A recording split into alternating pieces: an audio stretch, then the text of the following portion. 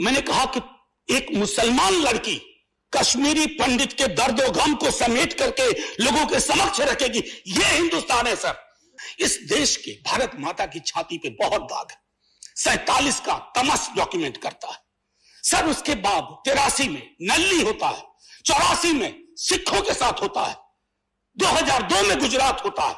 Sir, ये सारे दाग हैं कश्मीरी पंडितों के दाग के साथ साथ एक घाव और दूसरे घाव के बीच में तेजाब डाल करके आप कुछ नहीं यहाँ से करेंगे। भारत माता और लहूलुहान होगी। और जब लहूलुहान होगी, जब लहूलुहान होगी ना सर तो कुछ भी नहीं बचेगा, क्योंकि वोट की फ़सल का भी एक एक थ्रेशोल्ड वैल्यू है। अपनी वैचारिक आलोचना मत समझिए।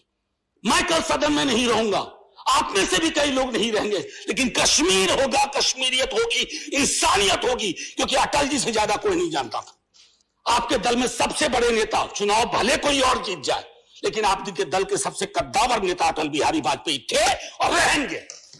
और उस अटल जी ने न सिर्फ़ बोला, लिखा कि इंसानियत, कश्मीरियत कश्मीरियत, जमहूरियत, इससे बड़ी चीज़ क्या हो सकती है? सर, इन दिनों एक फ़िल्म की बहुत चर्चा है। मेरा व्यक्तिगत तौर पे कोई विरोध नहीं है कि कोई भी एक्सपीरियंस पेनफुल एक्सपीरियंस डॉक्यूमेंट मैं खुद देखी हो फ़िल्म। मैंने परेशानियाँ भी देखी है, मैंने राम के नाम भी देखी है। मैंने ट्राइम्फ ऑफ़ विल देखी है, जो लेनी रफंसल ने बनाई थी, जर्मनी में। मैं सिर्फ़ इतना कहना चाहता हूँ, सर, इस देश के भारत माता की छाती पे बहुत दाग है। सैतालीस का तमस डॉक्यूमेंट करता है।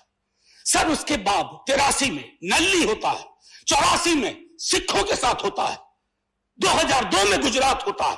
सर, ये सारे दाग हैं, कश्मीरी पंडितों के दाग के साथ साथ ये सारे दाग ये घाव ये